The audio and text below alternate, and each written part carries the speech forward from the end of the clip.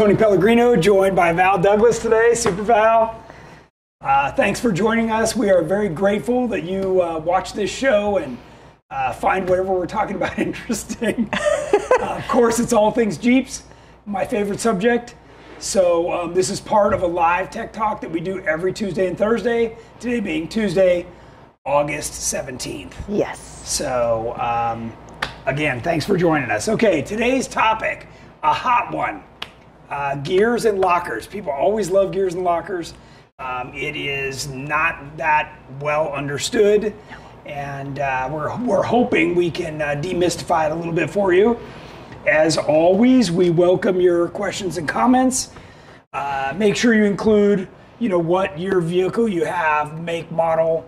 Um, any of that can help us better answer your question. All right. Uh, today's featured product is our rash guards.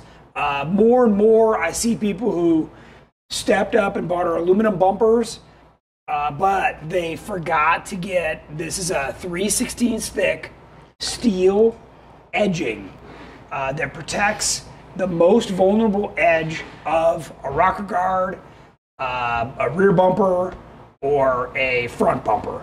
So it's really nice. It just bolts right on and uh, it's money well spent. I can tell you that. So um, if you haven't heard about that, you can add them on at any time. So if you already have the bumpers, or if you already have damage, you can buy them and cover it up. So uh, cool thing to check out, and you can find those over on our website. All right, our friends over at Yukon Gear and Axle have provided us a lot of this information today that we're going to be talking about. Uh, we've got a variety of their lockers here uh, with us in the studio and uh, we're going to get right to gear ratios. Anybody notable that's on today before we?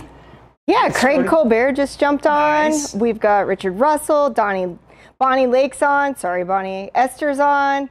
Uh, we got Corey Horton. Lots of uh, people we're used to seeing. Yeah. Josh is on. Uh, Rick Harrington. Kayla Pfeiffer's on. uh, Colby's on. Yeah. Awesome. Yep. Mika- Michael is on. Kelly? If Kelly's Kelly's not on yet. What? Maddie's on. Andy McQuinn, uh, Dennis Sargent, Jay Schmidt, Wow. VB Tom's on. Mitch Moore is on. Mitch, I just texted you. I'll get back to you. Andy Paquette. I like- can tell you, Mitch has 538s. Yes. I know that for sure. um, okay, so remember, if you've got questions or comments on what we're doing, just type them in. Val is here in the studio with me today. She's going to be reading the questions. Jamie's over for the YouTube question. Alex is behind the camera today, so we got lots of helpers. Kelly's on now. All right, Kel, Kel. about time. okay, first off, um, we need to talk about the anatomy of a differential. So, um, if you haven't seen inside of one, what you've got is your pinion gear and your ring gear, and then there's a couple of little spider gears inside here. And these would be your axle shafts going out to your wheels. So when this turns around, it turns this gear and it turns the whole assembly, essentially turning and propelling your vehicle forward, okay? So a lot of what we're going to talk about is associated with this, and if you change the number of teeth on the pinion or the ring gear, it will change the ratio of how many times that drive shaft turns before you get one rotation of the wheel. So, um, are we looking good okay? I see Jamie with a funny face over there. All right. So um, again, the pinion looks like this. It's got a couple of spots where bearings right on there, and then the yoke slips on here and is held on by a nut. That's what these splines are for. And I believe we've got a yoke. Do you see one sitting around? Uh, no. We've, we've usually got one here sitting in the studio. Yeah. But um, just trust me, that's where your drive shaft hooks on right here. The ring gear um, has, and all of these have like a spiral cut tooth on them. That's part of what makes it quiet when it rolls. And it adds extra length to the tooth, which gives it more strength. So, um, yeah. Any questions on that so far? Are we doing okay? We're doing all right. Jordan wants to know why he got left out. Oh, Sorry, Jordan. uh, he's on the other side. Yeah. Get back to work. Okay. All right. So uh, you've probably heard master install kit, the, that that term before. That includes a new uh, gasket for your diff cover, um, new ring gear bolts, seals, bearings, um, some thread locking compound, some marking compound, which we're going to show you in a second so you can check the gear mesh, and a new pinion nut and a brush here to apply those things. So um, that would be what's included in a master install kit. So if you're attempting to do your ring and pinion by yourself, you want to get a master install kit first. You don't need to get a bearing kit and a shim kit. You want the full Whole thing. Yeah, what's important in here is right here. These are the shims. So the shims are what move the ring gear in and out of the pinion.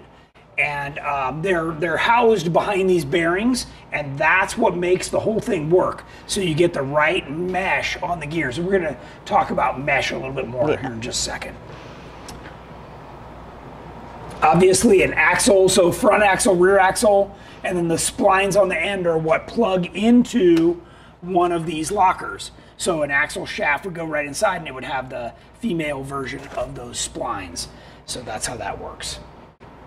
And those come in all different sizes and everything. Here's a whole chart on lockers. If we get some locker questions, we'll come back to this. I'm to keep moving on to gears.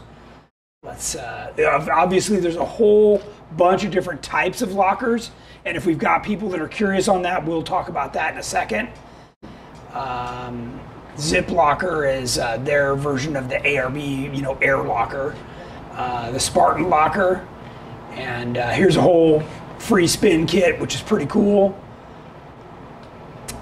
Uh, okay, so now we're down to determining gear ratio.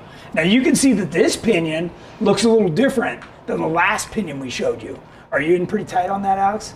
Can they see that? So this is one off a nine inch ring gear. Um, when it has this extra bearing support here, um, that that tells me that that's off of like a Ford nine inch. So um, kind of cool. And then it, it tells you, you know, based on the number of teeth, how all this calculates out. So we're going to get to a chart right here. Okay, so this is where I'm sure the questions are going to start flying. Right. Oh Here God, go. I need yeah. to have muscles. These are yeah, these are good gears. these are race gears right yes. here. That's not light. Okay. There, So, that way you guys we'll- can we'll see leave that. out there like that. Okay. So this we put this chart together. This is as easy as we could make it. Um, starting, you know, where most vehicles have gears in this range. You know, even uh, Rubicon has a 411, right? And then you start stepping up 456, 488, 513, 538. These are the common ones that most people have heard of. Um, I can tell you that Yukon for the JL, the JT, and the JK makes 456, 488, 513, and 538. So they make those higher ranges so you guys can upgrade from whatever you got. So that's that's pretty nice. Okay. Any questions yet? Um, Pretty quiet out there. no, we've got a couple of questions, uh, and also Yukon's on helping answer Oh, some good. of them. Yeah, so Alan yes. from Yukon. I, I Yep. meant to mention that. Yep. So, So- um, he couldn't be here today, but he's on there watching with you guys. So he's live on questions as well. Yes, Jared Norris wants to know. So he's got a budget build on 40s Dana 60 front with a spool and locking hubs. Um, so this is a little bit more advanced from where we're at right yes. now. But he wants to know if he can make his turning radius any tighter if he gets a T case in there, so that he could unlock his hubs or lock his hubs. In my experience, no. No, not with a spool. No. It's- that's if it was a Detroiter or you know the equivalent uh, Yukon locker, um, then that would release and allow those two wheels to roll separately. But when it's all locked, now that's for for those of you um, that are watching, that's a very advanced setup. When you, when you run a spool and you've got uh, locking hubs or drive plates, which means it's all locked together. Um, that is, uh, you know, a purpose-built off-road vehicle that you're trailering somewhere, Yeah. and uh, it's a cool setup and it's very reliable. But like he's saying, it's harder to steer, and you know, those are some of the disadvantages. What what happens is when when we build a, a race vehicle with a setup like that, we use the horsepower to turn. Right. You just light up the tires and wick that thing. So Yep. yeah, different driving style. Yes. Most people aren't comfortable with that. If so. you do want a, a tighter turning radi- radius, you're going to need to get Reid knuckles on whatever housing you're on, and um, some of the racers have actually wallowed out the ears on their axle shafts, and I know Yukon's going to hate me for saying that because I am one of those people that have done that before, but I've got 50 degrees of turning uh, on the buggy. So Yeah, um, and we don't have a front axle here, No. but yeah, you can grind out a section and actually let Yeah. the U joints turn for Yep.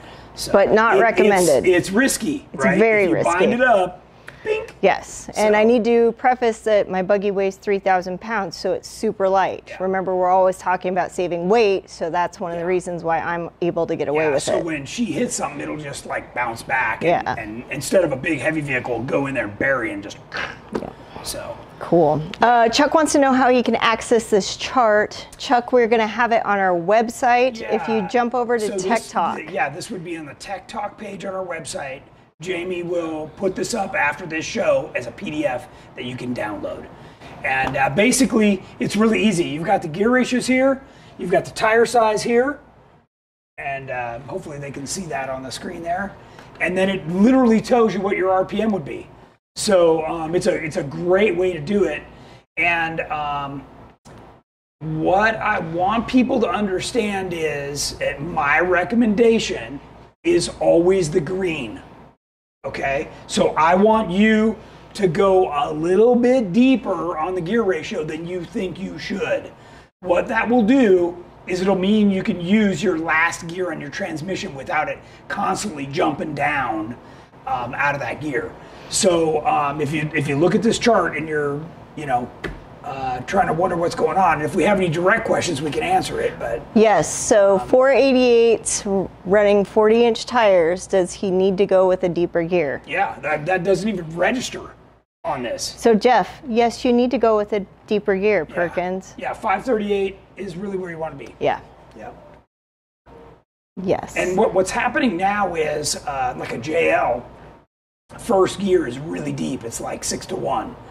So um, what's happening is, is you're able to get away with a lower gear ratio um, or a, a higher gear ratio, however you want to look at it. Uh, but you could run, you know, like a 411 and still run a big tire because that first gear is so low. But what happens is, is once you're on the highway, you're not running at the optimal RPM. Okay. yep. So if you never hit the highway or you're not worried about top speed, then yeah. Mark has, uh, Mark Ord. Ondrick has a really good question. Okay. Uh, does gear ratio really matter with strength? It does. That, that's a great question. Okay. Um, we, we looked at gear sets a little earlier, and I've got this one here. So um, this is uh, a Dana 70. That's uh, why it's ratio. giant. That's why it's giant. So what happens is, is this has to mesh like this, right? So what you can see is down here on the bottom, there's only three teeth in contact. And um, as the pinion gets smaller, that means there's only one tooth or less in contact. Okay? So um, this is a very critical. So basically, um, the ring gear size, so this is a 10 and 5 eighths diameter out of a, uh, like a Currie 70. And then you've got the, the pinion here, which is also bigger. And then because when you buy a good gear set, it's going to come with a larger uh, bearing up here in the front, right by the pinion, and then there'll be a little bit smaller bearing back here, and then you slide on your yoke. So, um, but yes, you you want to, you know, for instance, you don't want to put a, uh, say a 513 in a Dana 30 or 35, right? It's that that's going to be tiny, Tiny, tiny, tiny. tiny, and it's just going to break off. I Uh, can tell you because I did it. Yeah, even even in a 44, a 513 is going to be Yeah. like risky. Yes. So um, you really got to watch that. And I can tell you, you know, even between a 456 and a 488, there's an 11% uh, strength drop. Okay, so um, just gives you an idea with each step. Does. And then he also wants to know about regular cut gears and reverse cut gears. Yeah, that's a good question too. Um, so a standard cut um, would also be the equivalent of a low pinion, right? So a low pinion, and what that has to do with uh, is which side of the tooth is being driven. Okay, so the the gears are designed to be driven on one side, And um, so if it's a front axle, it's a high pinion, and those drive on the correct side. And then when you put a high pinion in the back, it's driving technically on the wrong side, which is not as strong. The, the, the way the tooth is shaped, it's not as strong. So that's why everybody goes up in size, right? So that's why instead of running a high pinion 44, you definitely go to a 60 or a 70 in the rear, depending on what tire size you're running. Yes. So great question. Great question. Great question. All right, Dennis Sargent's got a good question as well. I have a CJ7, 37 inch tires with a Currie RockJock 60s and a 5.3 LS and a 4L60. He was told to go with 456s at the time of the build, but wasn't sure if he should stay there with his transmission. Should he go deeper? Uh, I I probably would. Yeah. Yeah. Um, that that tranny doesn't have a particularly low first gear. No. Um, so what what's going to happen is on an automatic you can get away with the wrong gear. Like if you're a gear or two off, you can get away with it because the torque converter's doing the work. But what happens is that generates a lot of heat. So that torque converter starts spinning, and it'll do it, especially if you got a V8, you know. But um, it's generating heat. Yes. So you really gotta watch that. You're better off to get the correct gear in there if you, if you can afford it. I- you know, it's obviously it's an expensive changeover, so that's why you really want to do it, get it right the first time. Yes. For sure. Yes.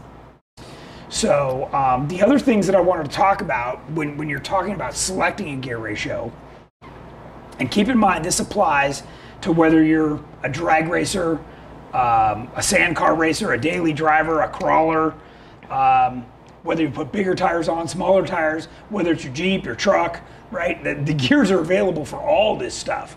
So you, that's where you really need to like look at what you're doing and choose the right gear ratio for your tire size. And our chart has all the different tire sizes on here. I just highlighted. And by the way, just because your tire says it's a 35 on the side, don't mean shit. No. It's probably not. It's probably a 34 or a 33. So you need to actually measure it. Okay. Yes, that's So- huge, guys, is. because some of you are going to be running 37s, and when you measure your 37 and find out that it's a 36 and a quarter, Yeah. that's going to change a lot of different things. Yeah. So then you want to be looking at this 36 line. Yeah. And figure out where you want to be. Okay. So um, let's see what else we got here.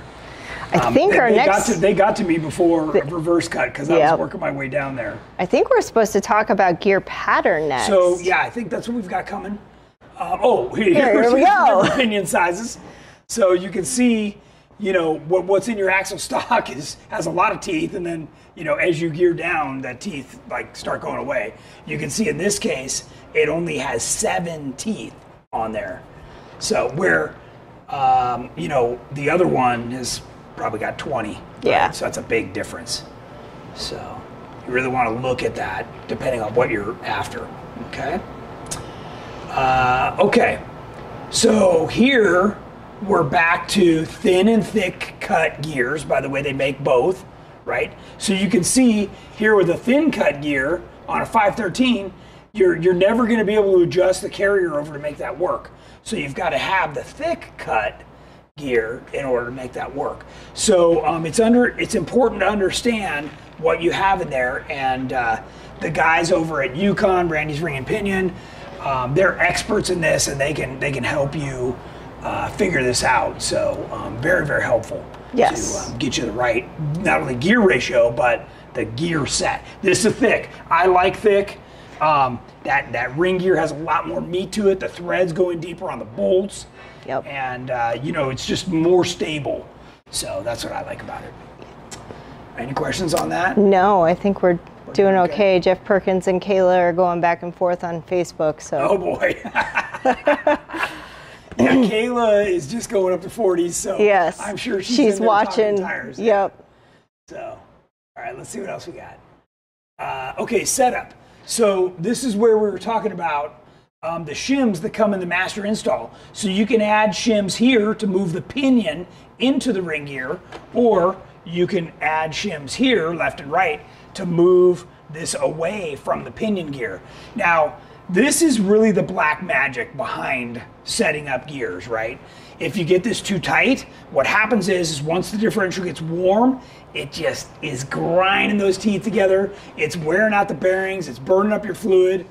Um, you know, in high horsepower applications, um, like this one, you'll actually see scorch marks on the edge of the teeth because, you know, we're driving so much torque through there at 130 miles an hour that um, that's why this gear got replaced. So, um, really, this is an important part of understanding what's in there and how it works. And I, I, hope I'm demystifying a little bit of this for everybody. Yes. And it's very important that you get the right shims in the right spot. So if you guys do attempt to actually do your own gears, pro tip is measure those shims as you take them out and write them down on something and put the shim next to where you wrote it down. So I always take a giant piece of cardboard, write down what the shim pack is. You're going to need a micrometer and put that shim pack there and where it came from. So on the pinion, off of the yoke, and um, and on the two sides where the axles go in. That'll be kind of your starting point for the new shims. Yep. So good stuff. Um, let's see what else we got here. Okay, so here now we're starting to talk about the the gear pattern, right? So this talks about the root or the flank, the coast side, the drive side, and the face. So just giving you some of the terminology here um, about how these gears work, and that's that's what you're looking at on each of these teeth. This, these are the facets that are ground into this piece of metal. So it's a very technical and precise. It takes special machinery to make gears, and uh, the reason is is because that you want them to operate efficiently and uh, quietly. Okay, so the when it comes to the gears there's a whole set of metallurgy, you know, the, the, the actual metal combination or alloy, um, as they refer to it, of what's being used in the, in the material of the gear, the heat treating, and then the, the facets that are cut onto the face. So not all gears are made the same. No. There's, there's a whole bunch of different, and a set like this has actually been polished before we use them. So that um, hardens them. It, it, it, not only does it harden them, but it also makes the break-in process very slow. So normally, when we would install a set of gears, you'd run them for about 500 miles, and um, then change the oil. Right? You want to inspect it, make sure everything looks good, and uh, that way, you know, if something, maybe the the shim, you know, squished Moved. out or something, yeah. you know. I've seen weird stuff happen. So, or in Tommy's case, he had the whole gear bolts yeah, come off. The, the, yeah, the, yeah. The, that hold them onto the, the carrier. Yeah. So, yeah, there's bolts that go through the carrier to this ring gear, right? So, like that. that would sit on there. We do have a question on YouTube. Sure. Uh, Chris says, "Hi, I have a 2009 JKU with a six-speed uh, supercharged 3.8 V6, running 37s with 456s." He's debating if he should go with a 488 or lower. Yeah, so 37, you know, my my preference is 513. Okay, so but um, depending on how much highway driving he's doing, a lot of guys would choose the 488, but but I really prefer that 513. That's for off road. That's going to be a better ratio for yeah. you. Yep. You'll, you'll, really appreciate that more. And Tyler Taco over on uh, Facebook wants to know the difference between a 9 inch, a 10 inch, and 11 inch. What's a good gear size to run with 40? So we've confused him with the size that you were talking about earlier. Yeah. So, Tyler, what actually uh, differentiates this is what axle you have underneath your rig. That's going to decide what size gear ring the actual circumference of the gear is. Yeah. And then from there, you do have a couple of different options. Yeah, grab me that tape measure right, right there. Yeah. Yeah. So, because this might be a Dana 60 gear. So this is actually a Dana 60 gear. Okay. So um, this, you know, uh, it's really common for everybody to talk about a Ford 9 inch, and then there's a optional 10 inch that you can go with. That's like the more heavy duty version.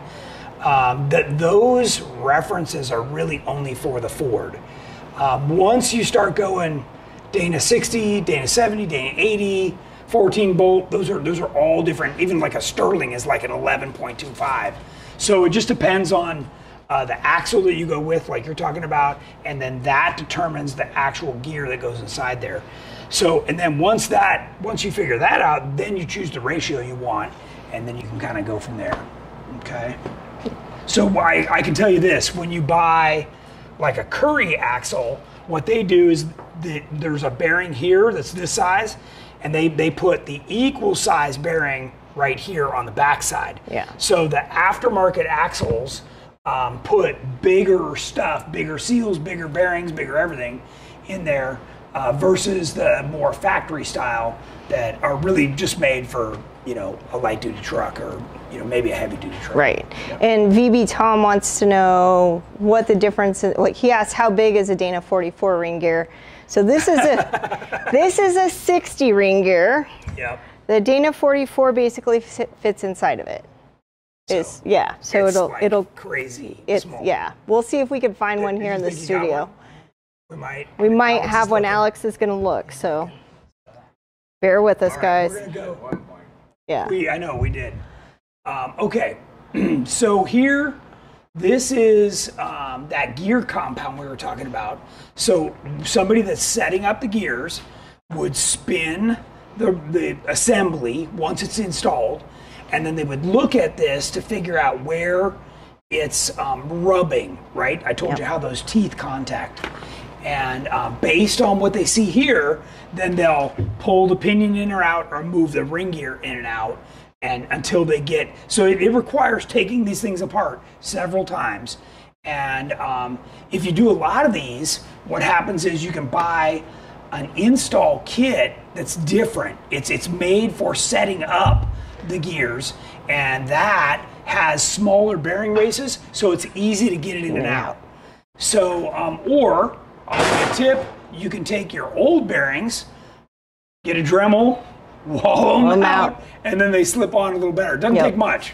It doesn't take much to get them to slip fit, so it's No. a lot easier. So, um, but yeah, that's a another. And I think I got So- some more pictures of this too. Yes. Okay, here we go. go. So, um, and I know, um, Alex, why don't you zoom in on this? Because this is really the, the, the hot part of what happens, right? So, top contact, which means it's it's way out on the tip of the tooth. very, so the pinion's got to go in deeper. Here, it's heel contact, um, decrease backlash. This is ideal. See how it's right in the middle of the tooth. It, not not only this way, but this way.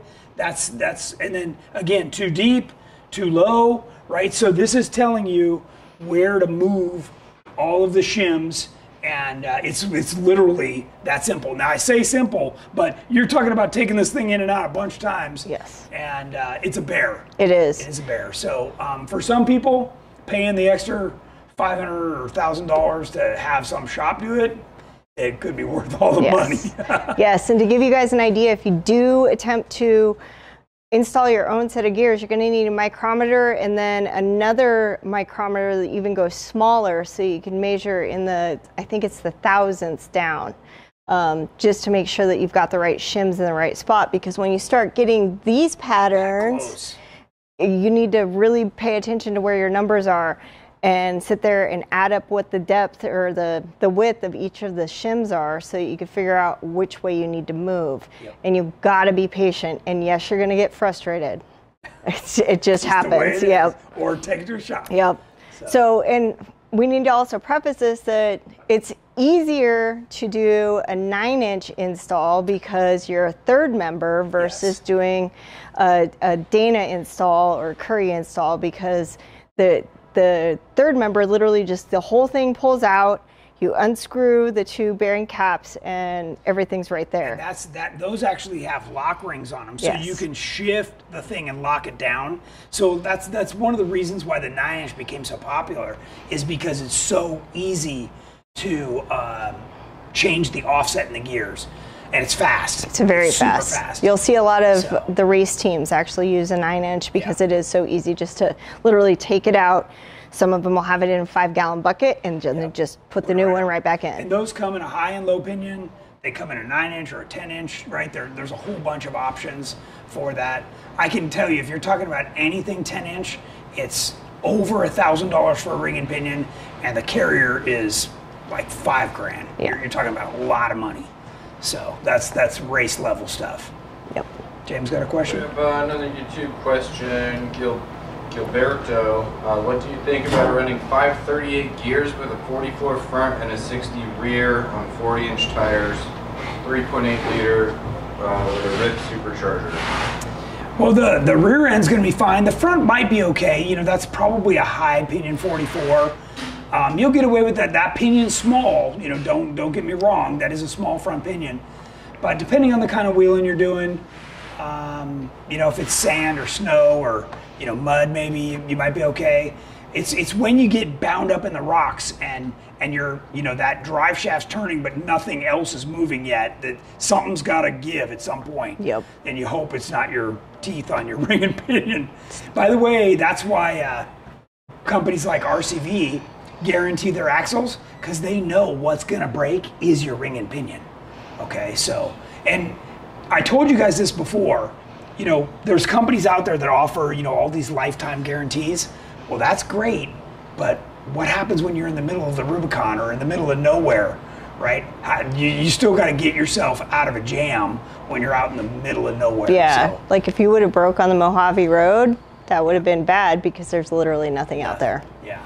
So then you got to get creative, right? Now you're taking out drive shafts, trying to limp along. Yeah. Um, that's that can also cause trouble.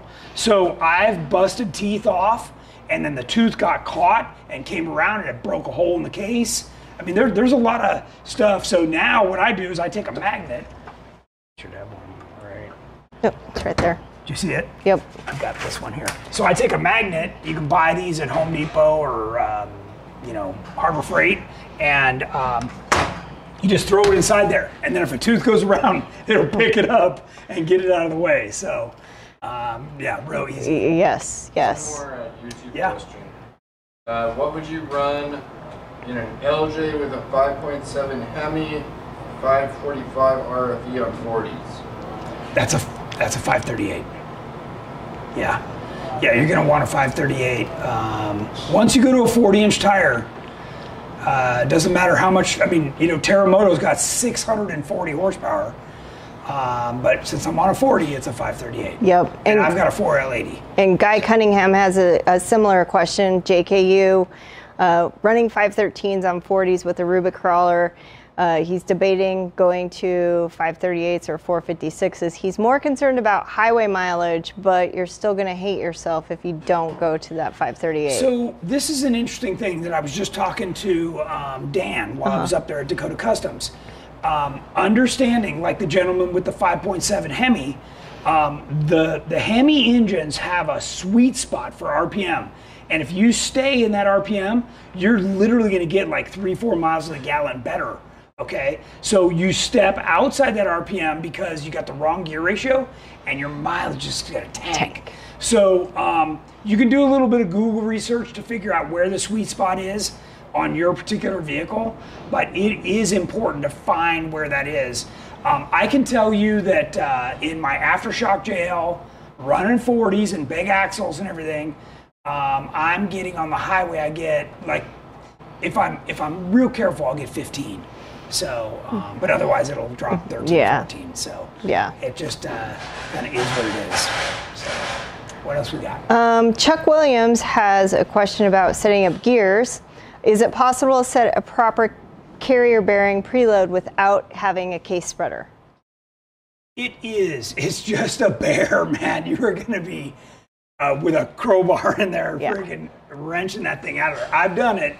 I've done it, uh, but it's it's a lot more work Yeah. for sure. Yeah. So, and then um, what happens is what we were talking about before is um, when you get the bearings set up, um, your this will rotate just slightly, and um, they call that backlash. Okay, and the backlash is really important because um, you can't have the gears just pushed up against each other all the time because the differentials, believe it or not, I don't know if you've ever gotten under your vehicle after you've driven it on the highway. These things will be 250 degrees, so there's a there's a bunch of growth happening Yes. inside there. So you've got to allow room for all this stuff to grow and expand without just making them grind each other apart. So, yeah, good question. Yep. Um, Jeremy Zamora, what gears would you recommend for 35s, Dana 44, and a 4.2 liter AMC? Ah, okay. So um, you're, I would go with a 456. You could go with a 488, but I would go with a 456 because it's stronger. It's got one more tooth in contact. I like that. And uh, 456 is a great gear. Great gear. Okay. It's great that he's got a 4.2. Yeah. You guys will find Yeah, out we- why yeah, later. We'll find out. Yep. we shot a little video earlier today. Um, okay, so this this literally just talks about the the shape of the tooth and what we just saw, and it's all the technical terms. Um, we don't really need to go into that. I showed everybody with the gear uh, pattern on there, and then I've got a bunch of information on lockers. Um, we haven't really talked about that, um, and then I'm just going to flip through here and see what else we've got. Oh, Oh, okay. back up. Well, yeah, where where are we at on We got 25 we're minutes, good. Okay. yeah. So keep the questions coming in. Yes. Um, I'm going to go back to the gear ratio chart because I think that's um, really for everybody that's watching. You know, it's it's the mystical. What ratio do I choose? And um, again, we talked about gear compound. We talked about the shape of the tooth. Yeah. And um, So Zach Guptill's got a great question. When you order Curries through GenRight, do they come needing to be assembled or is everything together? they are assembled. So and not only they're assembled, but they're they're put together by literally the same guy that does all my race axles.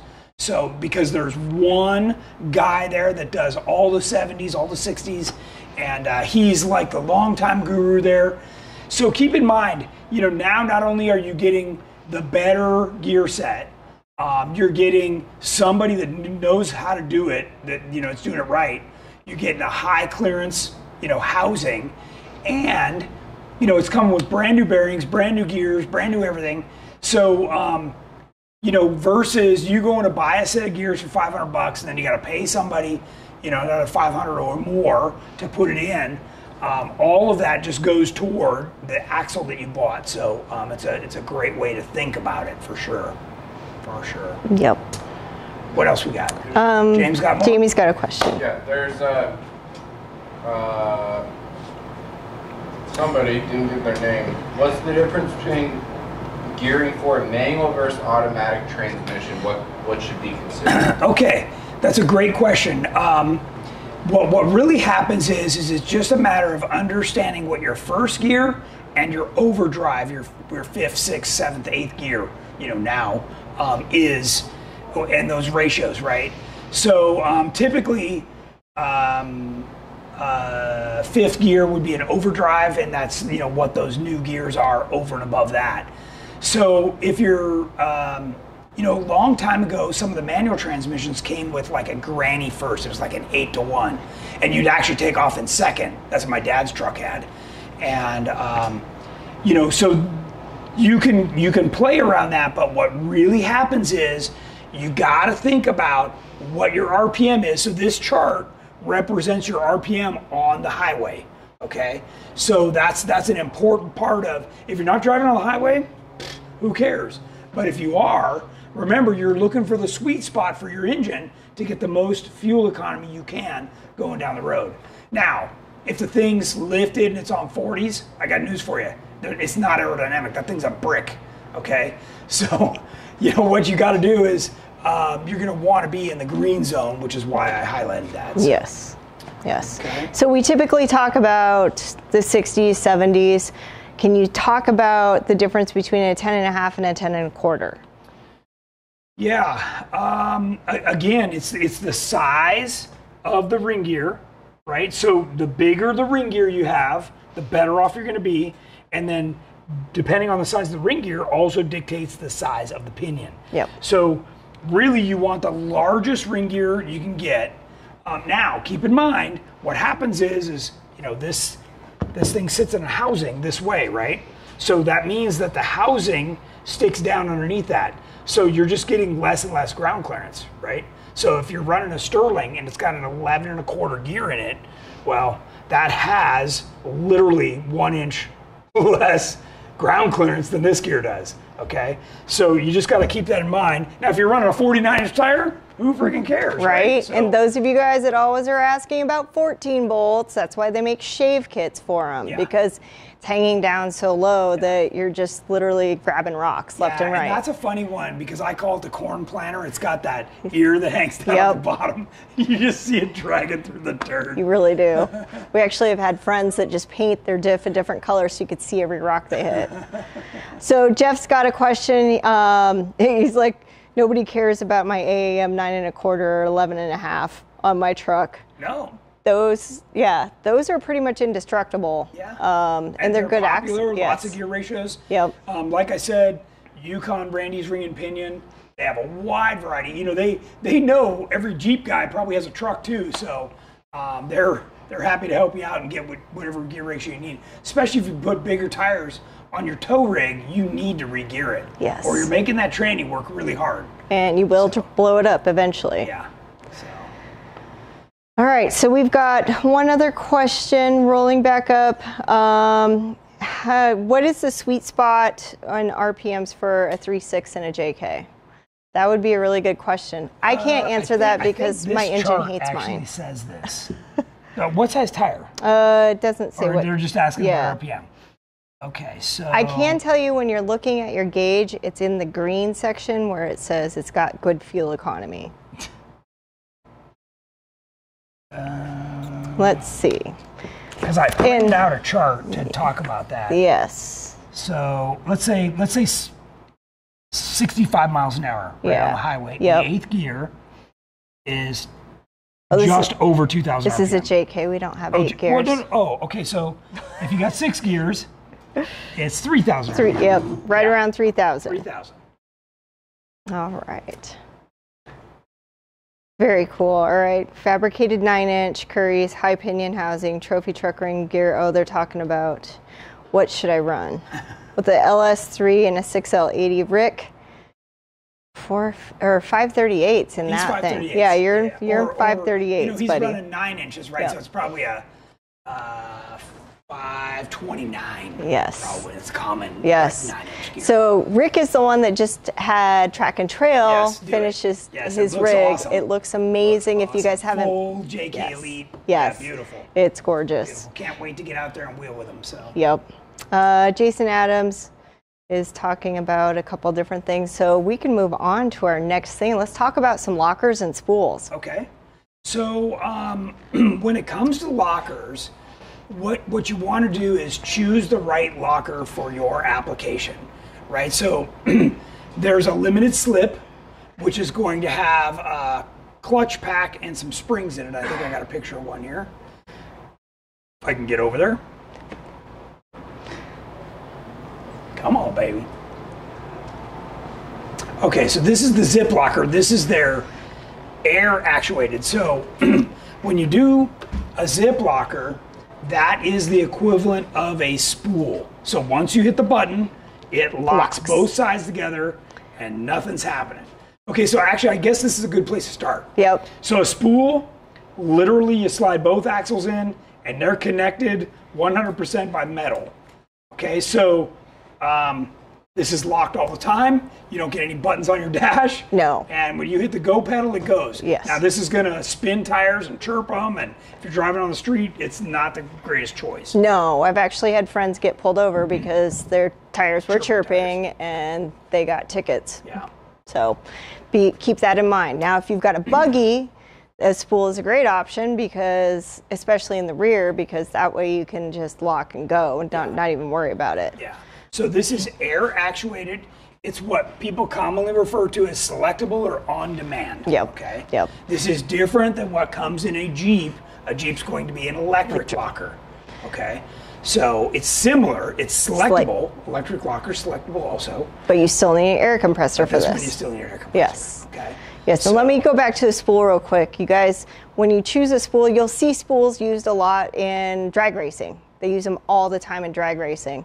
Um, I have seen some buggies out there that use spools, uh, but the big thing now with buggies is they want a selectable locker so they could turn it off and on, like what we just showed uh, on the zip locker, because they're all about tire pressures and sidewalls and gaining traction going Yeah. up stuff. Well, and when you have a spool or you're locked, as you if you've driven with yours off road, it pushes. Yes. Right. So you're trying to turn and it's just going this way.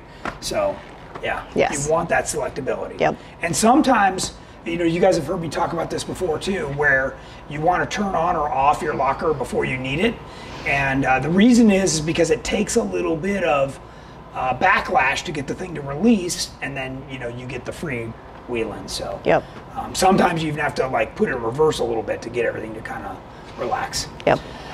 So this is a more compact version. Um, this would replace the spider gears commonly referred to as a lunchbox locker, um, only to be one up, yeah, from the uh, Lincoln locker. Yep. But, uh, yeah, this it's a simple little unit. It goes inside. It would fit inside the carrier and replace uh, the spider gears of your your standard carrier. This is not what I would call a permanent solution. this is uh, like I don't want to spend a ton of money before I get my real axle. Right. This will get you by. Um, the problem is what I find with these is it gives the guy a bunch of confidence, and then they start breaking axles or ringing pinions. Yes. And uh, because it's a real locker. So, Yep. And TJ, YJ guys, don't put one of those in your Dana 35. no, that's Bad choice. And you get one trip out of that. Yes. Maybe. maybe. All right. So um, here's here's that clutch pack locker that I was talking about, where that's a limited slip. So as it starts to spin, it creates heat, and then it starts to bite. And uh, the downside with rock crawling like that is a lot of the time you don't want to spin a tire because when that tire hooks up is when the shock load goes through and ends up breaking something. So you want to be real careful. You you really want um, what's called a hard locker or a selectable locker for your vehicle, whether it's air, electric, whatever that is. Yeah. Um, is really what you're you're probably after. So Richard Russell, Tony just answered your question. There you go. We like See? selectable I can lockers. read your mind. Yes. Yeah. Although I can say that uh, the YJ that I own, the Valtastrophe, is Lincoln locked in the front. What we mean by that is we went in and welded the spider gears because I'm cheap. Yeah. Well, we did that on Jamie's first Samurai. Yeah. We gave it a Lincoln locker. Darren, he Yeah. just a bunch of metal in there. and Yeah.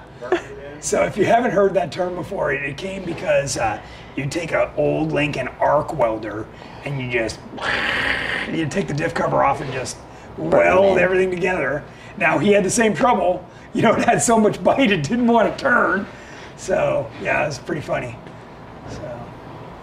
All right, what other questions we got on either either Uh, side? TJ Fulton in a dedicated trail rig, what would you run? A spool or a Detroit?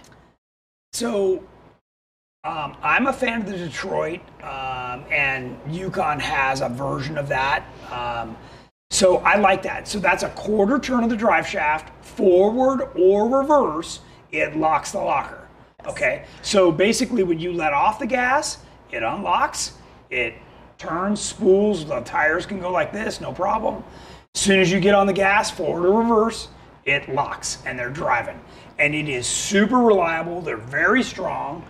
Um, the downside is, is if you live in a climate that gets icy, it's a bit sketchy. Okay, that's where a selectable is a much better choice. Yes. Um, but if you're looking for ultimate reliability, a lot of our race vehicles would run a Detroit style.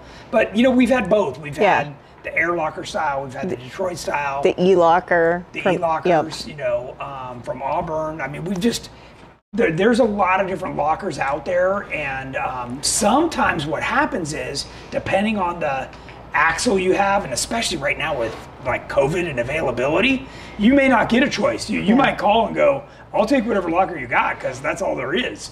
So, especially if you have kind of a, a off-brand axle or something. Yep. Or an odd one. Chris asked, uh, Dana 44, is it worth it to install a solid sleeve in place of the crush sleeve? Ah, that's that is another popular question. So that So just means that, that it's goes got to on- be set up right. On the pinion, guys, Yeah. if when you get your install instructions uh, and watch some YouTube videos on how you install these, but yeah, watch your watch So what you've got. What that means is um, there's a normally there would be a crush sleeve here, so that when you torque this to the right setting, it preloads the bearings perfectly. Okay, where the bigger axles like this, you can see this is machined right into the pinion. So you literally just slide the bearing on and you hammer that nut on there to the full torque, which is probably near 200 pounds, and that's that. So, Yep. Yep. And one more, uh, Justin Brown, is the stock LJ Rubicon locker worth keeping or should it be replaced? So here's the thing with the stock lockers. I've talked about this before too. Um, if you're if you're operating a, a stock locker, you need to be very very mindful that you turn it on. I would say 10 feet before you need it, and without the vehicle already being under stress. So what I would do is I would be moving along, even if you're a little bit on the gas, I would let off just slightly, push the locker, and then resume throttle. But you want to do it before it's under tension. Okay, so if you're starting to climb already and you turn on the locker, well, the, the little teeth inside there are trying to engage. And what happens is, is you start knocking the edges off those. And, you know, it'll work for a while, but pretty soon it's just going to strip out and you got nothing. So, um, word to the wise turn it on before you need it, turn it off while it's not under stress, and that will last a long, long time. Um, also, be diligent about changing your diff fluid. Um, keep fresh fluid in there. You know, it's it's 20 30 dollars for synthetic. You know, to change out your diff fluid. Um, spend a little extra money and save yourself thousands. yes. Uh, and a lot of hassle and heartache if you break down in the middle of nowhere. So, Yep. Yeah. The other good thing to think about on a JK and the JL is they've got the electronic actuator that goes into the diff. If you're engaging that uh, locker when you're already on the obstacle, eventually that thing's going to give out. Ask me how I know. Yeah. Because mine's in the shop right now getting that replaced. Yeah, a lot of the time, if I'm out with um, newer four wheelers, I just tell them when we hit the trail, turn that thing on, and uh, unless you can't steer, I don't want you to turn it off. Yeah. Okay, so um, it's just a good rule of thumb. Now, there's a whole bunch of other people that have this school of thought that I don't understand. They don't want to use the lockers at all until they're stuck. Well, that's a really bad idea because what happens is you have put the components that are engaged under a tremendous, like literally twice as much stress as they Yeah. should have been. And uh, by then, you've also slid off your line and gotten yourself into a world of hurt. You know, definitely not where you want to be. So, look, I, I know some people think it's more challenging. It's not a good idea. You are stressing out every component in that drive line your, your transmission, your transfer case, your drive shafts, the ring and pinion, the axle shafts. You are you're giving that stuff a workout. Yep. Why spend the money if? Yeah, if you're not So, don't know use it, yeah. dreamy, but he's like, why spend the money if you're not going to use it? Like, The other thing is, when, if you're one of those guys that insists upon not using your lockers until you just absolutely have to, you're also tearing up the trail. So you're causing trail damage out there. So that's never a good thing either. So keep that in mind because we want to keep as many miles as trails open. So a lot of people, you know, if you've ever seen any of the videos of me out wheeling, I make it look really smooth and easy. It's because my lockers are on. Yes. Right? I'm able to hit my line exactly where I want to go. And when you do it right, it looks like a paved highway. Yep. So um, again, you know, I'm not out there spinning tires and all over the place. You know, that's how you break stuff um, or damage stuff heavily.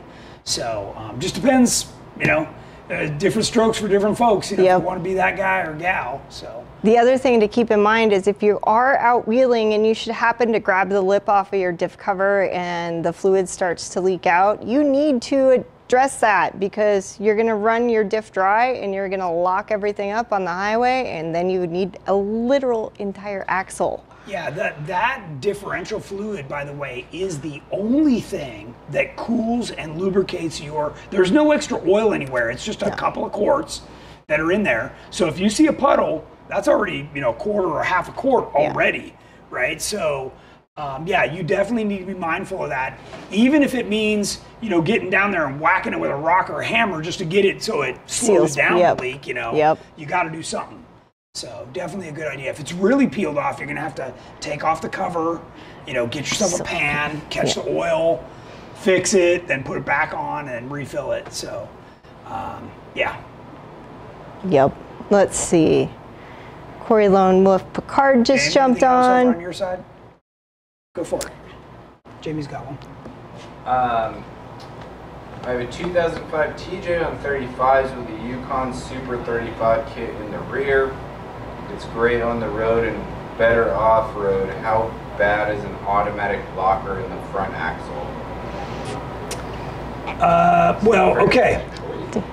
So let's let's talk about that because we didn't. Yeah. Um, if if you want to put either a you know lunchbox style locker or a Detroit or something in your front axle, and you're on a TJ, YJ, XJ, CJ, um, CJs might have it. You need locking hubs, okay? Because what basically, like I told you, the moment that drive shaft turns, it's going to lock those, and it's it's going to be like yanking you all over the road.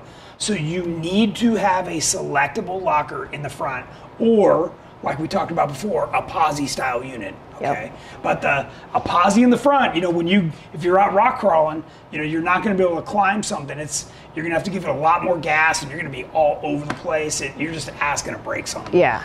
So you really want a hard locker. That's called a soft locker. That you want a hard locker um, that is selectable for the front.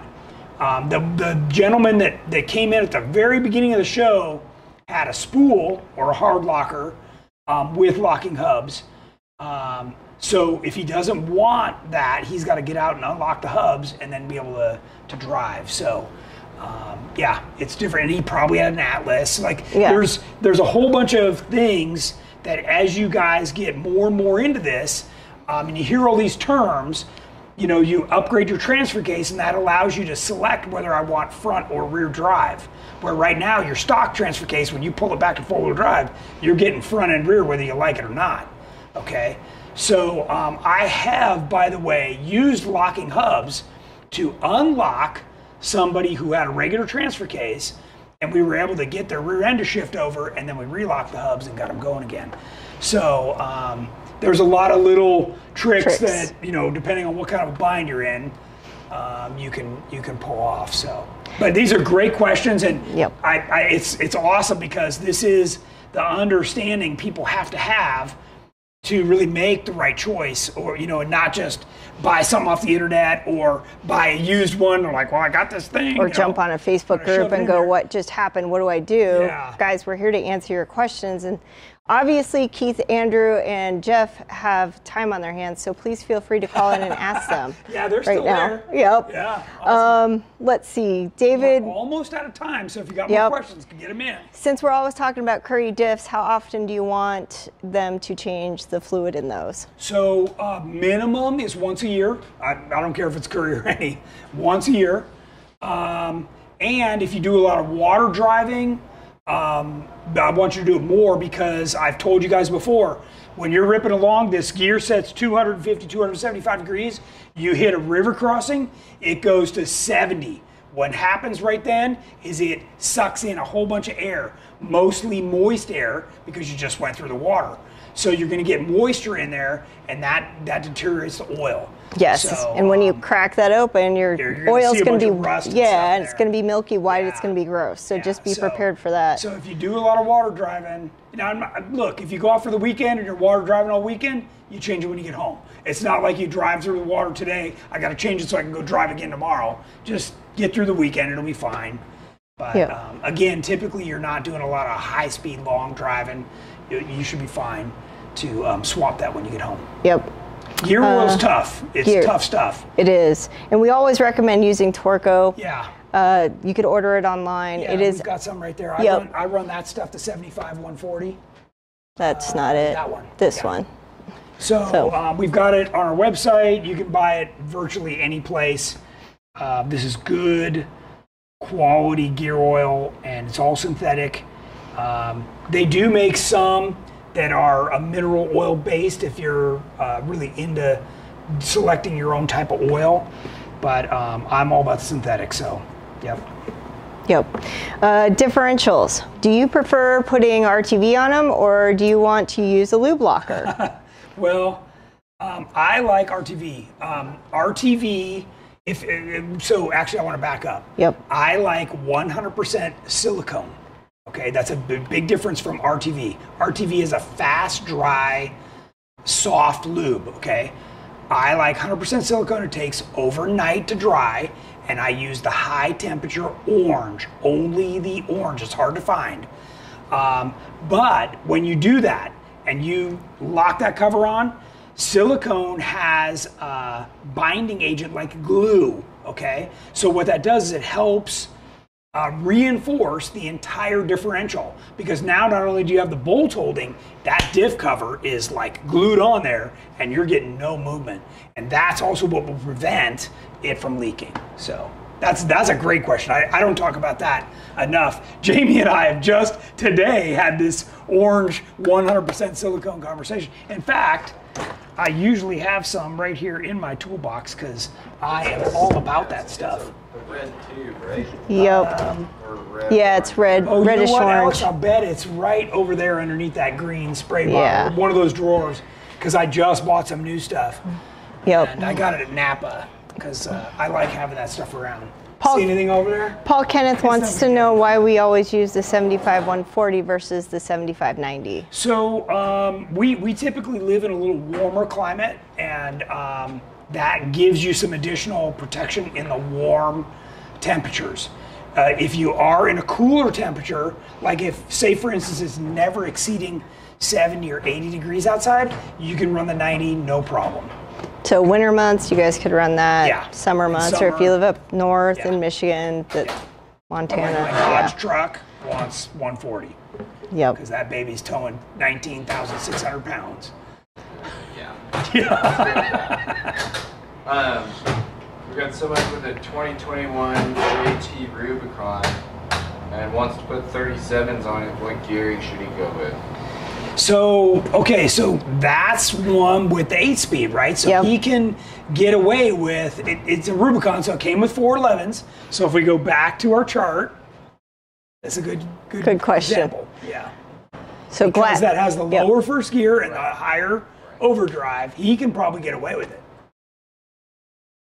get back to our chart. Yeah. So, and we're going to put these charts again up on our website under Tech Talk with Tony. Yep. So make sure you guys go check it out after. Yeah, if you haven't already been over there, we have a whole bunch There of downloadable PDFs.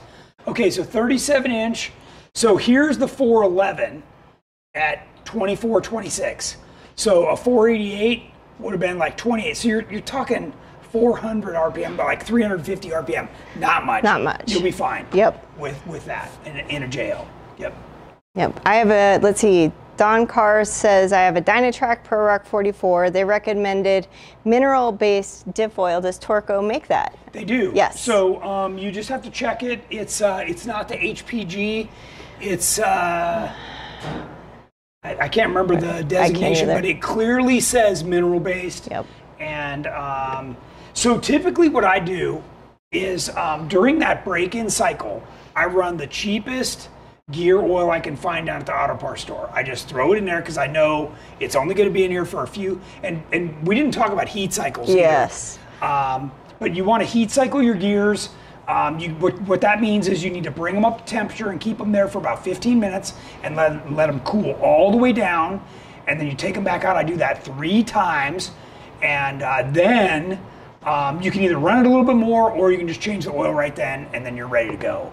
So, but uh, heat cycling them is really important. So, uh, And don't forget to change that oil. yeah, that's that's important, That's important, too. So, Yep. um, a lot of the time, you know, what comes from the factory is is like fish oil, not good stuff, and you know, you want to get rid of that and put some better stuff in. Yep. So, Definitely. And then remember, the factory is is all about mileage. So they're they're running the thinnest oil they can to get you the highest mileage. We're looking for protection. Yep. So, want to keep your stuff in one piece. Yeah. Just saying, guys. So, for those of you that are asking questions about Torco oils, we actually did an entire segment with Oh, Ernie. Yes, it was Tech great. Talk. Tech Yeah. Talk with Tony and Ernie from Torco. So, if you go back through either Facebook or YouTube, you could actually find that, or you could search it on YouTube as I well. I don't remember what episode number that is, but it's a fantastic, like incredibly amazing. He brought all the little jars with what it takes to mix up just one bottle of oil, and uh, it is fascinating. So Yes. check it out if you haven't seen that. And of course, you can find all Torco on our website too. You just go to the search box and type in Torco, and it'll pop them all up. Yep. Well, we are at the end of our time? hour. Yeah. You're over. Okay. Yes. Um, well, thank you, everybody. We're always grateful for you watching. I do want to met. Yep, Yep. One more thing. So get Thursday night, Thursday night and Friday night this week is GenRight Jeep night. Thursday night is in Michigan, Lowell, Michigan. GenRight Dave is hosting it at uh, one of the breweries up there. So make sure you go and check that out. And then Tony and I are actually going to Ohio for the Ohio Jeep join night. Adams. Yep, Jason Jason, and and Lisa Adams will be up there. And uh, we're looking forward to that one. If you guys are going to the Ohio one, make sure you register to win. Gift certificate from us. We're taking all kinds of swag to give up away. And Mickey Thompson is putting up a set of tires to give away. So Free tires. Yes. Who like free tires? right. That's so crazy. that's So, uh, just because I'm coming back there. That's Yep, awesome. yep. Royal Docks Brewery in uh, Ohio. So check that one out. All of those are on our Facebook page. We're also about ready to send out an email blast with them. And then Simi Valley's got one. Yeah, yeah. Uh, they're, they're all over the place. yeah. Again, on our website under runs and events, you can see um, the different Yep. uh, Jeep night locations. Yep. Car- uh, Kayla's putting her first one on. Nice. So is Eric Brady. So if you guys are up north Kayla and just got her cage in. Yep. That's awesome. And then we're going to be doing our next tech talk probably from Mickey Thompson Yes. back in Ohio. So, um, yeah, we're we're uh, going to be flying back there, and uh, we're we're really excited to get back there and, and do our next tech talk from back there. I'm sure the Adams will be around, and we'll Yep. have all kinds of fun. So, all right, everybody. We're grateful for you watching. Thank you very much. Yep. And hope you enjoyed it. We will see you on Thursday.